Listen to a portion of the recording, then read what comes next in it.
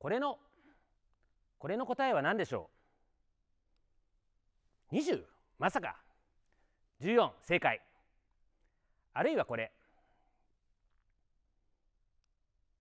私は世界選択だから分かりません。何言ってんですか？安政の大国正解。そうこういった問いは正解を求めています。ではこれはいかがでしょう？これもやっぱり求められているのは正解。調査をして分析して手に入れられる正解です。正しい知識をもとに正しい手順をで導き出した正しい答え。僕たち現代人はそして多分今日ここにいらっしゃるような皆さんはこのロジカルに正しく考えるということがとてもうまい。多分得意。とりわけ学校のテストとか会社の仕事とか真面目に取り組んだ方が良さそうな時になると自信を持ってこのロジカルに正しく考えるという技術を駆使します。今の延長線上を正しく修正しながら進むんです。さっきの認知度で言えば認知度が低いから認知度を高めるための広告投資をしましょうとか購入経験が低いから購入経験を高めるための反則を打ちましょうとかそんな感じで。でも世の中には正解がない問いがいっぱいあります。例えばこれ。モテモテのあなたなら今の延長線上で正しく考えて行動すればお相手も OK してくださるかもしれない。でも今の延長線上ではどう考えても断られそうな時決定的なピンチの場面で正解の代わりに求められるのはその手があったかというアイデアです。そしてそんなアイデアを手に入れるためには残念ながら正しい知識をもとに正しい手順で考えるだけでは不十分です。もちろん思い込みだけで突っ込んでも失敗しちゃいますけれども客観的な分析はしつつもそれだけではなく客観的には正しいかどうかわからないような個人の直感や経験までをも総動員して七点抜刀するその向こう側にようやくアイデアという答えを見つけなければならないんです。大学時代一橋大学の、えー、国立キャンパス。冬のゼメスター寒くてつらかった月曜水曜の一元でお世話になったのが竹内弘隆先生でした。その竹内先生が派手なネクタイを締めていらっしゃったことに憧れて僕も会社に入ってそう10年くらいは毎日派手なネクタイを締めていました。でもクールビズとかライフスタイルの価値観の変化で世界中の多くの人々と同様に最近ではすっかりネクタイをしなくなっちゃいました。きっと単純な今の延長線上でネクタイ業界がネクタイをもっと売るのはなかなか難しいことでしょう。そこで求められるのがアイデア。現状を打破するその手があったかですビジネスになるとみんな急に真面目になっちゃって正しく正しく考えようとしがちですけれどもネクタイ業界を救うようなアイデアは正しい分析を繰り返すだけではやっぱりダメであらゆる人生経験を駆使しながら今までの常識を覆すような新しい着想をどこかからか持ってこないとやっぱりならないんですね。地球上から貧困をなくすにはこうこういった社会課題も全く一緒です。この大きな大きな問いは正解がないから難しい。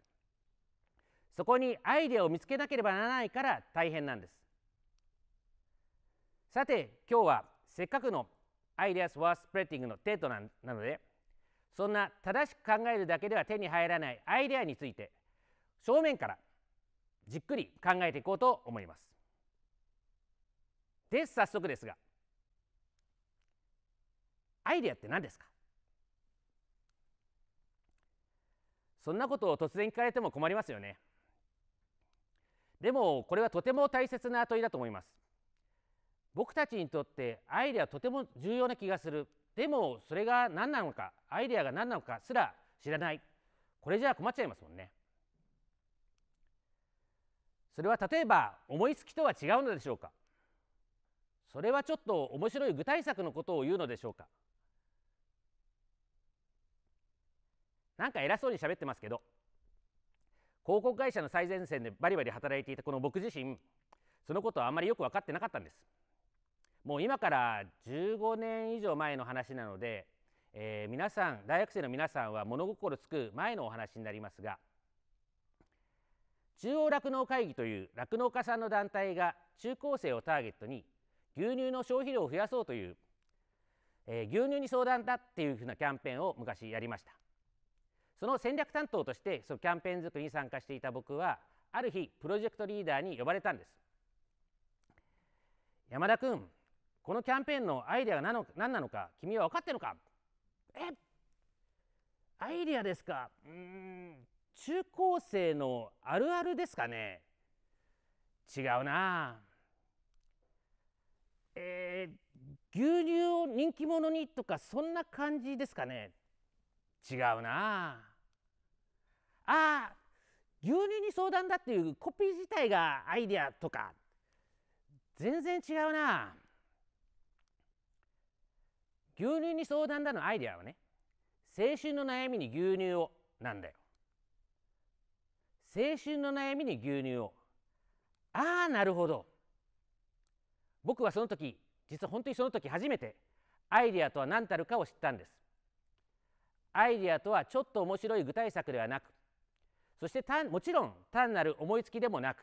その背後にある設計図でした。それまで牛乳といえば学校公認の成長飲料でした。成長飲料というサーチライトが牛乳を照らし出すことによって背が伸びるためには必要だけどどっか学級委員みたいで面白みのない姿が浮かび上がっていました。そんな常識を覆してまるでクラスの人気者のように何だろうこっち側からちょっとこう関心を持ちたくなるそんな愉快な一面を照らす新しいサーチライト。そんな新しいサーチライトを表す一言。それこそがアイデアだったんですね。なるほどと。広告業界にももちろん表現のアイデアといったものもあります。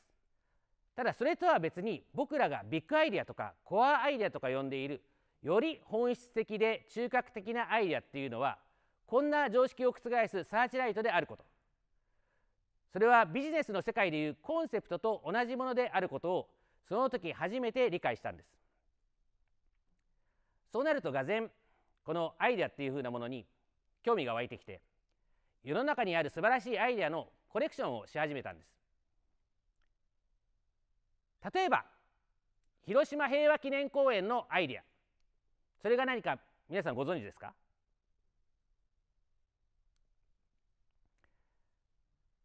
普通こういった被災地に建てられるのって何ですかね？そう。記念碑とか慰霊碑の類ですよね。除幕式マックスでだんだん忘れ去られていく存在。でも建築家の丹下健三さんはそう考えなかった。むしろそんな常識を覆そうとした。そして平和を作り出すための工場というアイデアを新しいサーチライトを提案したんです。実際広島平和記念公園にいらっしゃったことがあればわかるかと思いますけれども来場者はまず資料館で広島の戦前の穏やかな暮らし戦争の足音とともに苦しくなっていく生活そしてピカドン核兵器投下直後の恐ろしさやその後遺症を知った後暗闇を抜けて外に出ます。そこで今日の平和な景色の中にあの原爆ドームを目撃するのです。そうするとああ平和っていいな平和って大切だな平和の尊さを心の底から実感するんですね。来場者はまるで工場のベルトコンベヤーに、えー、乗ってるようで乗ってるようにこう進んで最終的に一人一人が平和を愛する製品として仕上がる。そんな仕組みの背景にある設計図が平和を作り出すための工場というアイデアです。素晴らしくないですか？アイディアは広告コピーではありません。もし来場者がこれを見て自分が工業製品扱いされてると知ったら怒りますもんね。アイデアはあくまでプロ同士仲間内でその言葉を聞いただけでまだこの世の中にないものを共有するときに使う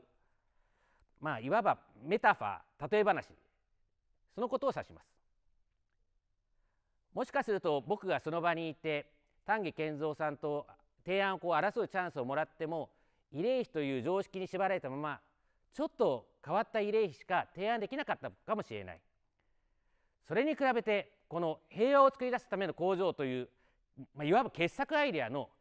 新しさ力強さそして優しさに心が震えます。そうこのアイデアには正しく客観的に考えるだけでは到底たどり着けない設計者自身の愛情とか人生経験というものがしっかりと反映されているからです。僕は生意気にも丹下健三さんというその人そのものに嫉妬してしまいます。こういったサーチライトとしてのアイデアの傑作を一つ一つコレクションすることで僕も次第にアイデアの良し悪しを見分けられるようになりました。いわばアイデアの品質管理ができるようになったんです。例えばある外食産業さんが新業態のコンセプトアイデアとしてこんなものうどん新体験ってものを掲げたらあなたはどう評価しますか？あこのうどん新体験っていうのは全く架空のお話です。さてこのうどん新体験は優れたアイデアでしょうか？困った時はこの図です。そしてこのサーチライトとしてのアイデアという観点から見ると残念ながらうどん新体験はアイデアとは呼べないというふうに考えます。なぜか。それはそれがどのように新しいか説明していないから。単に新しいサーチライト新しいサーチライトを言い換えただけでしかないから。平和を作り出すための工場はそれが実現する以前からその言葉を聞いただけで一緒にいる仲間に対して進むべき方向を示してまだこの世の中に存在してなかった広島平和記念公園というふうなものを直感的に想像共有することを可能にしてくれました。でもこのうどん新体験は言葉つきは勇ましいですけど、まあ、いわば中身は空っぽ。常識を覆すような具体的なものは何も照らし出さないですもんね。ただ一度調べてみてください。残念なことに世の中の企画書提案書の中にはこの種のフェイクアイデアフェイクコンセプトがいっぱいあります。それほど山ほどあります。こういったアイデアの品質管理能力ともともと僕が広告コミュニケーションで培ったアイデア作りの能力を使って僕は次第次第に広告制作というふうな領域から飛び出して新商品や、えー、新事業を開発するそういった、えーと、チャレンジをするようになってまいりました。例えば日本全国にはいろんな地方新聞社さん各都道府県に地方新聞社さんがありますがその、えー、地方新聞社さんが全国の地方新聞社さんがその取材力を生かして地元のまだニュースになってない一品を掘り出し販売する、えー、インターネットなんかで販売する通販サイト47クラブというところがあります。その47クラブの社長から47クラブらしいカタログギフトを作ってほしいと言われて企画したのがこちらです。ある日あなたの手元にこのお弁当箱が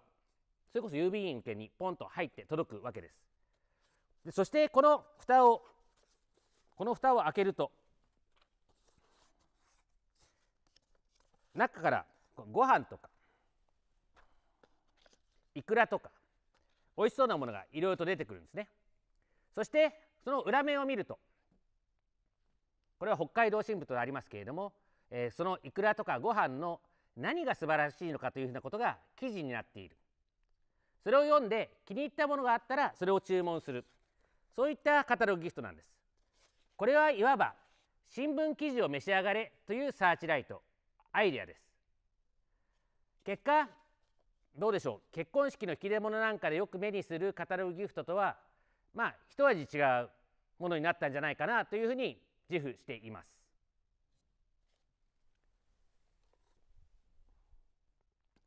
そして最近ではこのアイデアの力を使ってもっと大規模にブランド全体事業全体企業全体のイノベーションを促進するお手伝いをしています。昔会社の先輩が言っていたアイデアが世界に誇る日本の輸出産業となる日が来る。そんな夢を結構真剣に追いかけてるんです。さて皆さんがもしこの正解のない世界にご関心をお持ちなら一つお勧めがあります。それはこの世の中から見事にサーサーチライトを差し替えた傑作アイデアを3つ。そう3つでいいので3つだけでいいのでご自身の手で探してみることです。たったそれだけの作業で今まではいいな便利だなっていうふうに使い手の目線で捉えていたものの奥底にある作り手の目線送り側の目線そういったものに気づくことでしょう。それは丹下健三さんのような